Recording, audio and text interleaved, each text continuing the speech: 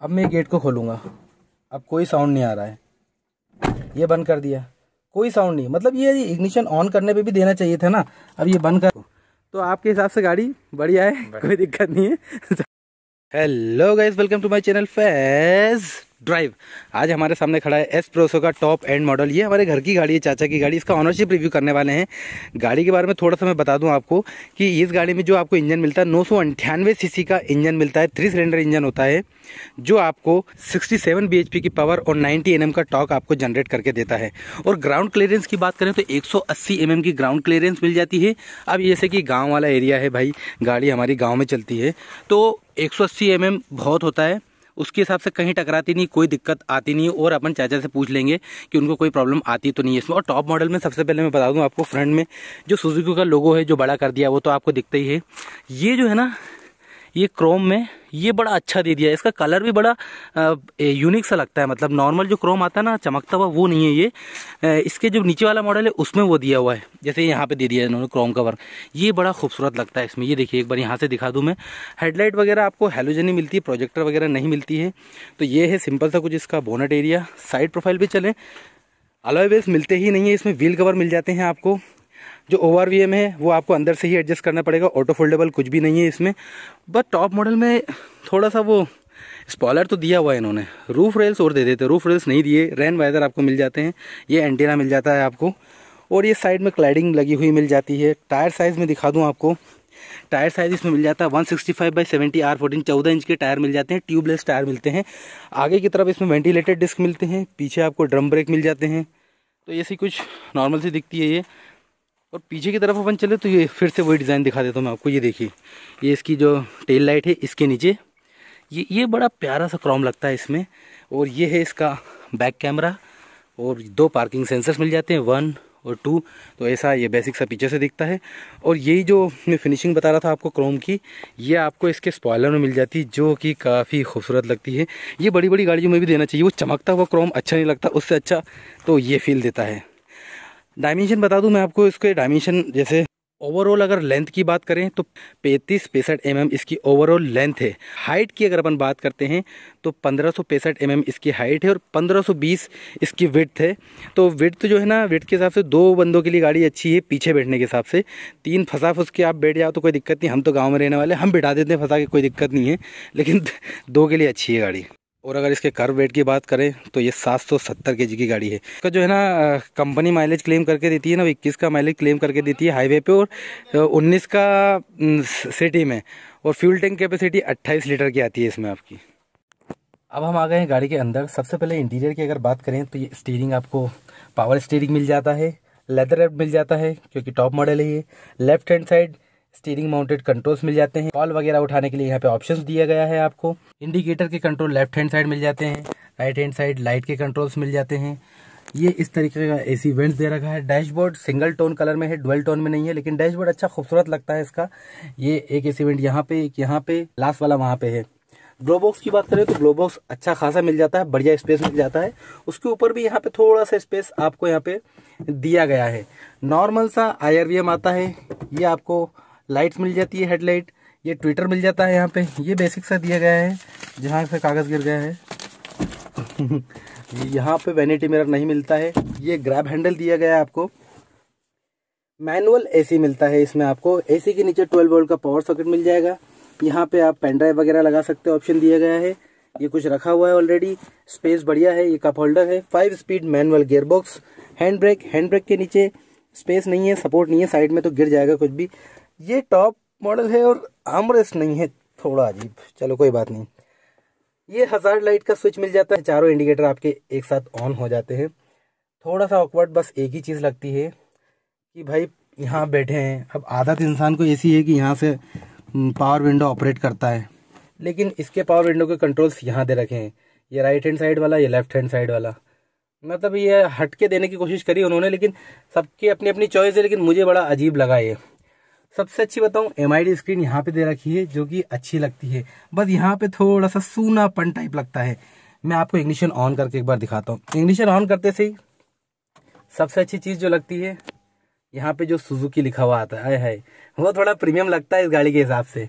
ये MID screen है, और यहाँ से आप एडजस्ट कर सकते हैं किलोमीटर ट्रिप एवरेज जो आपको देखना है। टच स्क्रीन सिस्टम के रिस्पॉन्स की बात करते हैं अपन तो ये देखिए। बढ़िया है मतलब सेगमेंट के हिसाब से। थोड़ा सा लेगी टाइप का फील होता है, लेकिन इतनी ज़्यादा दिक्कत नहीं आती है। मतलब आप ऑपरेट कर लेंगे, चला लेंगे। ये थोड़ा सा लैग होता है इसमें, लेकिन इतनी ज़्यादा कोई प्रॉब्लम नहीं आती है। ये वॉल्यूम के कंट्रोल्स दे रखे हैं आपको। टच रिस्पॉन्स बहुत बढ़िया तो नहीं बोलूँगा, लेकिन गाड़ी के हिसाब से सेगमेंट के हिसाब से ठीक ठाक है। ये वॉल्यूम यहाँ से भी आप कम ज़्यादा इसमें कर सकते हैं। और ये सेवन इंच का टच स्क्रीन डिस्प्ले है, जिसमें आपको Android auto Apple CarPlay Bluetooth connectivity aux cable सब चीज़ें मिल जाती हैं। बस एक ही चीज़ है कि आपको स्पीकर सिर्फ़ फ्रंट में दो ही स्पीकर मिलते हैं, रियर में इसमें कोई स्पीकर नहीं मिलता आपको। और एक थोड़ी सी मुझे चीज़ एक अजीब लगी है, मैं बताऊँ आपको। जैसे देखिए, अभी मैंने ये गेट ओपन करा तो कोई साउंड नहीं आ रहा है, क्योंकि इग्निशन ऑन कर रखा है मतलब चाबी ऑन कर रखी है मैंने। अब देखिए जैसे मैंने चाबी बंद कर दी। अब मैं जैसे ये गेट ऑन करूँगा, ये साउंड सुन रहे हैं आप? To to. ये गेट खोला है, इसलिए आ रहा है। अब जैसे ये गेट को बंद करा, ये देखिए, साउंड बंद हो गया। तो ये मतलब अब देखिए, जैसे ये इग्निशन मैंने चालू करा। अब मैं गेट को खोलूँगा। अब कोई साउंड नहीं आ रहा है। ये बंद कर दिया। कोई साउंड नहीं। मतलब ये इग्निशन ऑन करने पे भी देना चाहिए था ना। अब ये बंद करा। ये देखिए, आने लगा। तो बस ऐसे में साउंड आ रहा है। ये थोड़ा सा अजीब लगा मुझे। कि मतलब दे देते हैं। और एक और चीज़ ये है कि आपको यहीं से मैनुअली एडजस्ट करना पड़ेंगे। टॉप मॉडल में भी आपको इलेक्ट्रिकली फोल्डेबल, इलेक्ट्रिकली एडजस्टेबल बाहर के जो ओवर है वो नहीं दिए गए हैं। तो ठीक है, पैसा अच्छा ले रहे हैं लेकिन नहीं दिए। और एक और अच्छी चीज़ ये है कि भाई, ये है ना, ये देखो, बड़ा ये खूबसूरत लगता है ये क्रॉम में। जैसा गया है ना ये ये टॉप मॉडल में ही मिलेगा आपको, इसके पहले जो बेसिक मॉडल आते हैं उसमें नहीं दिया गया दोनों साइड है ये ये क्रॉम में बड़ा खूबसूरत लगता है ये। अच्छा प्रीमियम लुक देता है ये। तो ये तो था इसका फ्रंट चलते हैं रियर की तरफ़। रियर में क्या अलग हटके दिया है वो मैं आपको दिखा देता हूँ इसमें। और है ना सीट बता दूँ मैं आपको, इसमें लेदर सीट नहीं आती फैब्रिक अपोस्टोफी ही, की ही सीट आएँगी। और ये कवर इन्होंने बाहर से लगवा रखे हैं, जो कि काफ़ी खूबसूरत लग रहे हैं। चलिए चलते हैं गाड़ी के रियर प्रोफ़ाइल की तरफ़। पीछे जाने से पहले एक चीज़ और बता देता हूँ मैं आपको। ये इसका हेडलाइट लेवलर है, यहाँ से इसका बोनट खुलता है। और सीट एडजस्टमेंट की बात करें तो यहाँ से आप सीट को इस तरफ़ पीछे कर सकते हैं या नीचे से इसको आगे पीछे कर सकते हैं। हाइट एडजस्टमेंट नहीं दिया गया है आपको। और ये आपका फ्यूल लेड ओपनर डिग्गी ओपनर दोनों यही मिल जाता है। चाबी मैं आपको बता देता हूँ। ये इस टाइप की जो सुजुकी की नॉर्मल चाबी आती है, वैसी ही मिलती है आपको। बस एक एक चीज़ है, जो बूट को आप एक्सेस करते हैं ना, इसको अनलॉक करके बूट एक्सेस नहीं होगा। यहाँ तो या तो यहाँ से बूट खोलें या फिर पीछे जाके चाबी लगा के बूट खोलें। तो ये अब हम आ गए हैं गाड़ी के रियर में। मेरी हाइट फाइव नाइन है। आगे की सीट मैंने, मेरे अकॉर्डिंग एडजस्ट कर रखी है। बढ़िया स्पेस मिल जाता है ठीक ठाक ये देखिए, इतना नी रूम बच रहा है मेरे पास। थाई सपोर्ट बढ़िया है। मतलब स्पेस अच्छा है, दो लोग कंफर्टेबली बैठ जाएँगे। ज़्यादा गाड़ी की विर्थ नहीं होने की वजह से तीन में दिक्कत आएगी, लेकिन ये बाहर से छोटी सी लगती है। लेकिन अंदर से मतलब स्पेशियस फील होती है गाड़ी। और यहाँ पे हम्प थोड़ा कम ही है। मतलब ठीक ठाक हम्प है तो दिक्कत नहीं आएगी, बीच में एक बच्चा आप बिठा देंगे तो। और ये देखिए, पीछे भी ये इन्होंने क्रोम में बड़ा खूबसूरत सा दोनों तरफ़ ये दे रखा है, जो कि अच्छा लग रहा है। ग्रैब हैंडल एक यहाँ पे, एक यहाँ पे। यहाँ पे आपको नीचे बॉटल होल्डर वगैरह का स्पेस नहीं दिया है, बस ये ज़रा से स्पेस गेट पे दे रखा है दोनों तरफ़। जो थोड़ा बहुत सामान आप रख लें, या मैनुअली विंडो को आपको ऑपरेट करना पड़ेगा, ये लॉक अनलॉक के लिए दे रखा है। तो पीछे कुछ ऐसा बेसिक सा, यहीं से बता दूँ मैं आपको, कि ये पार्सल ट्रे मिल जाती है आपकी, जो कि बढ़िया है। टॉप मॉडल में मिलना ही चाहिए। और यहाँ से ऑप्शन दे रखा है आपको। आप सीट को आगे की तरफ़ कर सकते हैं पूरा जब आपको सामान वामान लगेज ज़्यादा रखना हो किसी को पीछे बिठाना ना हो। चलिए चलते हैं गाड़ी के बूट की तरफ़। बूट में कुछ हल्की सी प्रॉब्लम आ गई थी तो ये ओपन नहीं हो रहा है तो मैं आपको ऐसे ही बता देता हूँ। 270 लीटर का बूट स्पेस इसमें मिल जाता है जो कि गाड़ी के हिसाब से बढ़िया है। पार्सल ट्रे मैंने आपको अंदर से दिखा दी कि ऊपर पार्सल ट्रे इसमें लगी हुई है। आ, कुछ मतलब इन्हीं की तरफ़ से कुछ प्रॉब्लम आ गई थी बता रहे थे मतलब ऐसा नहीं कि गाड़ी में ही प्रॉब्लम है तो वो खुल नहीं रहा है वरना मैं आपको बता देता। तो दो सौ सत्तर लीटर का बूट स्पेस इसमें आपको मिल जाता है। तो गाइज़ हमारे सामने हैं जामिल चाचा जो कि मेरे चाचा हैं। इस गाड़ी के ऑनर हैं। तो सबसे पहले चाचा आपका बहुत बहुत स्वागत है मेरे चैनल पे। आप सबसे पहले ये बताइए कि गाड़ी आपने कब ली थी और कितने में ली थी ये?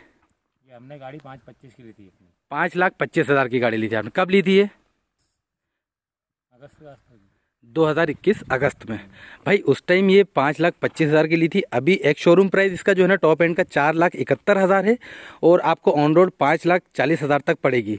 अच्छा मुझे एक बात बताइए इस गाड़ी के बारे में। जैसे आप गाँव में तीन तीन लोग फंसा फंसो के इसमें बिठा लेते हो जैसे तैसे लेकिन बेसिकली देखी जाए तो ये पीछे दो ही लोग बिठा सकते हैं इसमें। तो आपको स्पेस के बारे में क्या लगता है? बढ़िया लगती है फिर कैसी लगती है? बहुत बढ़िया गाड़ी है कोई दिक्कत तो पीछे आप तीन बिठा लेते हो इसमें। कभी कभार बिठा लेते हैं दो में अच्छा रहता है। दो में अच्छा रहता है तीन में दिक्कत आती ही होगी।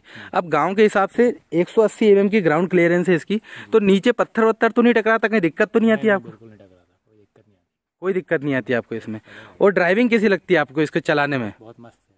बहुत मस्त है। वैसे ज़्यादातर गाँव में आपने देखा होगा बहुत ज़्यादा उठ रही है गाड़ी। जी। उसका मेन रीज़न यही है इसकी ग्राउंड क्लियरेंस और ये गाड़ी बाहर से छोटी दिखती है और अंदर से बड़ी फील होती है। मतलब अल्टो से बड़ी लगती है आपको अंदर से ये? जी हाँ जी हाँ। बैठने में बहुत कंपल्सर अच्छा लगता है। अल्टो और इसका कंपैरिजन करें तो मतलब अल्टो से आपको बेहतर है। अल्टो से बेहतर है जी और जैसे आपको पीछे सामान वामान रखने में कोई दिक्कत तो नहीं आती इसमें? नहीं आती। बहुत अच्छा बहुत अच्छे से सामान रखा जाता है। मतलब फैमिली पैक है आपको बढ़िया लगती है गाड़ी गाड़ी में आपको कोई दिक्कत लगती ही नहीं है। नहीं। और एवरेज वगैरह आपको क्या मिल जाता है इसमें? पेट्रोल पे आप चलाते हैं तो? बाईस का बाईस के। आसपास का एवरेज मिल जाता है आपको? हाँ। जो कि बढ़िया है कोई दिक्कत नहीं आती आपको। तो आपके हिसाब से गाड़ी बढ़िया है? कोई दिक्कत नहीं है। चलिए आप थोड़ा शर्मा भी रहे तो इतना रिव्यू ठीक है। तो गाइज़ देखा आपने ये घर की गाड़ी है वैसे मैंने आपको इन्फॉर्मेशन बता ही दिया है ज़्यादातर और चाचा से भी मैंने पूछ लिया है उनको क्या लगता है क्या नहीं लगता है। तो उम्मीद करता हूँ गाइस आपको ये रिव्यू पसंद आया होगा। ये एस्प्रेसो का टॉप एंड मॉडल का रिव्यू तो भाई, वीडियो को लाइक कर देना चैनल को सब्सक्राइब करना, ज़्यादा से ज़्यादा शेयर करना, ताकि ऐसी और अमेजिंग वीडियोस कार के इन्फॉर्मेशन कार के रिव्यूज़ बाइक के रिव्यूज़ जिस चीज़ के रिव्यूज़ मिल सके, सब ला सकूँ मैं आपके लिए। Thank you so much guys for watching the video